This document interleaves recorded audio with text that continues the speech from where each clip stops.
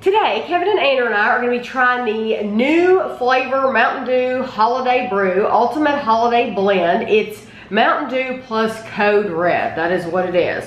It was $1.78 at Walmart. Will you open that? There was an accident Yeah, so they decided to just make at, new labels for at it. the factory.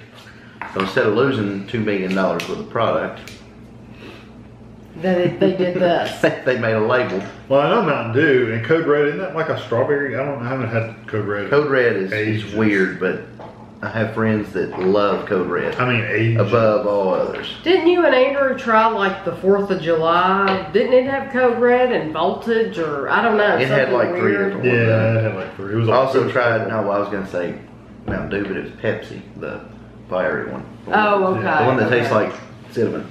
So if you drink this whole bottle, it is 290 calories, just so you know. Yeah, it's not diet. Um, it tastes like Wow. Code Red Mountain mixed together. You know what? The, you know that reminds me of? Cran, like a cranberry sauce. It's a very, very sweet. But you don't drink, how long has it been since you drank pop, like true blue pop?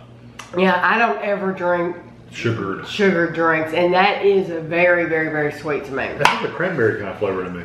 That's not bad. I mean, literally, like, that's like, It's not bad, but in holiday, Oh, I don't that's mind. kind of stretching it. to Say it's holiday. oh, I, I think they totally did it as a gimmick. I could drink it. Oh, Yeah. If somebody bought me one, I'd be like, hey, thanks, and I'd drink it. Wouldn't have a problem with it. I would give it away to a friend because not that it's bad, but I don't drink my calories. So Yeah. for me, I'm not going to buy this anyway. If they made a diet version, would I drink it? Maybe. Uh, I probably would, yeah, because I do. I really do think it's good. I, I think it has a good flavor.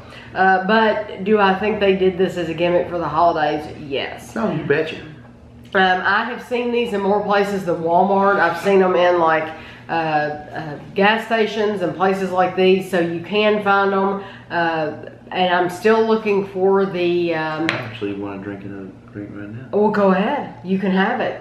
I'm, it's mine. I'm still looking for the uh, caramel Pepsi. So as soon as we can find the caramel Pepsi, we will be trying that for you too. So I hope you enjoyed this review and thanks for watching.